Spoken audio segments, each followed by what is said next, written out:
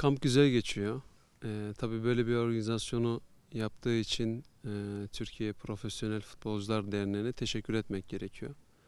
Yani bence ülke olarak eksikliklerimizden bir tanesi de buydu. Burada e, alt liglerde oynayan profesyonel oyuncular için de çok güzel bir olanak sağlıyor. Ee, ben de buraya onları desteklemek için geldim. Ee, gayet güzel normal Süper Lig ekibinin e, çalışabileceği bir ortam var. Yani e, 32 yaşına geldim. E, 15 senenin 6 senesini e, büyük takımlarda geçirdim. E, 6 senesini Ankara Spor'da geçirdim. Tabii ki Fenerbahçe'ye gitmeden önce Avrupa'dan teklifler de vardı. E, biz Fenerbahçe'yi tercih etmiştik o zaman. E, hiçbir zaman hiçbir tercihimden de pişman olmadım. Ee, çok şükür ki hem Fenerbahçe hem Trabzonspor forması giydim diyebiliyorum. Sadece o iki kulübü değil, ben oynadığım bütün kulüpleri ve bütün formalarımı her zaman çok sevdim. Severek giydim. Ee, o yüzden benim için e, kariyerim belki daha büyük, daha iyi olabilirdi. Daha çok kupalar kazanabilirdim. Tabii bunlar her şeyde olabilir ama ben şu anki itibariyle her zaman e, şükür ediyorum ve kalan futbol hayatımı en güzel şekilde değerlendirmeye çalışıyorum. Fenerbahçe ile ayrılık sürecinde e, neler yaşandı? Kalabilir miydiniz orada yoksa böyle mi olması gerekiyordu? O süreçte neler oldu? Bence böyle olması gerekiyordu. Ee, ayrıldığım için üzüldüm mü? Tabii ki üzüldüm. Trabzonspor'dan ayrılırken üzüldüm mü? Tabii ki üzüldüm. Yani ee, ama hiçbir zaman bu bizi geri atmadı. Yani her zaman sonuçta profesyonel bir futbolcu olarak her zaman yeni hedefler koyduk ve bundan sonrası da böyle olacak. Yani şu anki e, yönetimle alakası olmayan bir durumdu. Daha eski yönetimle e, alakası olan bir durumdu. Amatörce yönetiliyordu kulüp. Şu an gayet profesyonel ve her Trabzonspor'un taraftarın mutlu olacağı şekilde beni de mutlu ediyor şu an olanlar. İnşallah böyle devam ederler. Fenerbahçe'de Fenerbahçe'de oynadığım zaman da sadece Alex değil, orada oynayan herkes yerli yeterince hem kendi ülke takımlarının ülkelerinin kaptanlarıydı hem Türkiye'nin en önemli oyuncularıydı. Sadece Alex değil yani o her futbolcu orada ayrı değerliydi. Avantaj mı dezavantaj mı oldu diye sorarsanız bazen avantaj olur e, bazen de dezavantaj olur. Ama çoğunlukla ben her şeyi her şeye her açıdan pozitif bakıyorum. O dönemki orta sahada Emre abi gibi, Alex gibi orta sahalarla birlikte oynadık. Diğerlerinin ismini de verebilirim. Yani hepsi ayrı ayrı birbirinden değerli oyunculardı. Çok şanslıyım o konuda yani 22 yaşında o isimlerle birlikte oynamak, Roberto Carlos'la birlikte oynamak çok değerliydi yani. Herkese başarılar diliyorum sadece. Trabzonspor'un doğru yolda olduğunu söyledim zaten demin. İnşallah böyle devam ederler. Ee, başarılı olmalarını, şampiyonluk yaşamalarını cani gönülden isterim.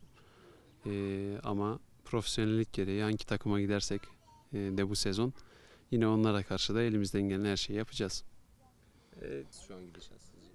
Bence o gidişat da gayet iyi gözüküyor. Ee, son yıllarda özellikle çok genç yetenekli arkadaşlarımız çıkıyor. Hem Avrupa'da ülkeyi temsil ediyorlar ve başarılı oluyorlar.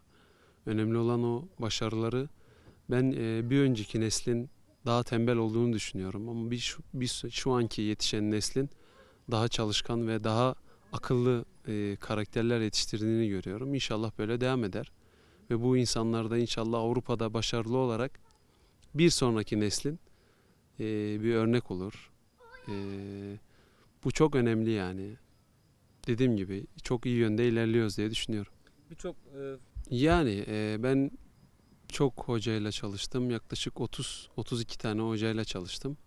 E, Aykut Hoca ile 6 sene çalıştım. E, o yüzden Aykut Hoca'nın yeri her zaman bende ayrıdır. Öyle de kalacak. Onun ismini verebilirim ama hep bütün hocalarımdan da bir şeyler öğrenmeye çalıştım açıkçası. İnşallah futbol kariyerim bittikten sonra da e, tecrübelerimle birlikte ve inşallah yeni hedeflerimle birlikte teknik direktörlük kariyerine başlamak istiyorum. Var. Teklifler de var. Görüşmelerimiz de var. Devam ediyor da. Bir iki gün içerisinde netleşir diye düşünüyorum. Kulüple mi yoksa birkaç e, şey Ya var mı? birkaç kulüpten teklif aldık. Ee, şu an aileyle birlikte onu değerlendiriyoruz. Hangi şehir bize uygun olur? Nerede başarılı olabilirim? Nerede eee, kalan eee, şu anki de hani özel bir süreç. iki tane bebeğimiz var. Onlarla birlikte nerede birlikte olabiliriz? Nerede başarılı olabiliriz? Onun planlamasını yapıyoruz. İnşallah ilerleyen günlerde zaten belli olur. E, sizde nedir? Bence birazcık daha profesyonel bakmamız gerekiyor. Sonuçta dört büyük takım var ve e, dört büyük takımın formasını giymiş oyuncular da var. Yani birazcık daha mantıklı düşünmek gerekiyor. E, adam bir takımdan ayrılmışsa ayrılmıştır, bir takımla anlaşmışsa anlaşmıştır. Yani o an o an futbolcunun meslektaşımın hedefi olduğu yerde başarılı olmaktır. Yani takım tuttuğumuz takımlar var, kalbimizde olan renkler var.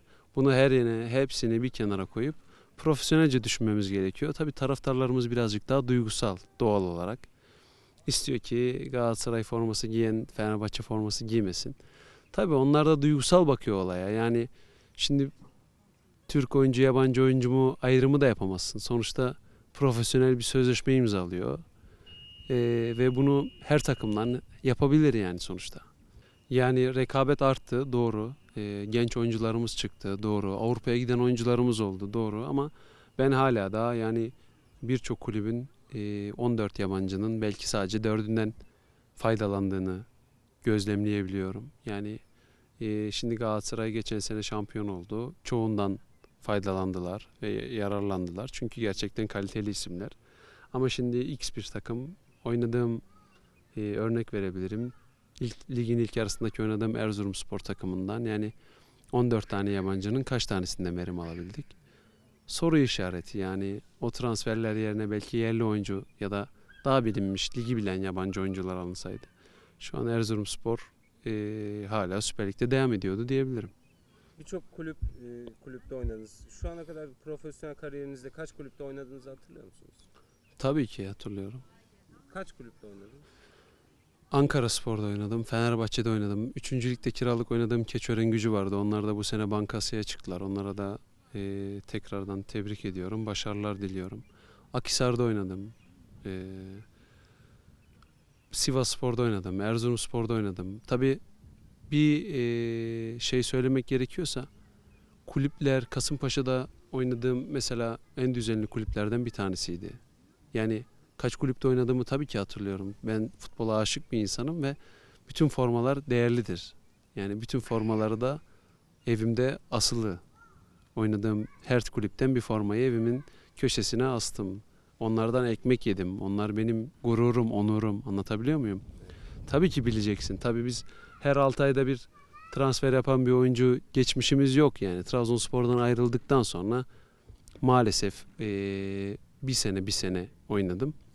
O da benim kendi tercihim her zaman benim tercihim olmadı yani sonuçta. Karşılıklı bir tercih oluyor. Sonuçta Akhisar'da Trabzonspor'dan ayrıldıktan sonra Akhisar'da çok başarılı oldum. Şimdi son 6 ay Sivas'ta başarılı oldum. Gönül istiyor ki tabii başarılı olduğun yerde devam et. Ama tabii o şartlarında oluşması gerekiyor. Yani hayat böyle. Her zaman hayal ettiğin ya da istediğin değil yani. Allah ne yazdıysa o oluyor. Biz de buna her zaman şükür ediyoruz.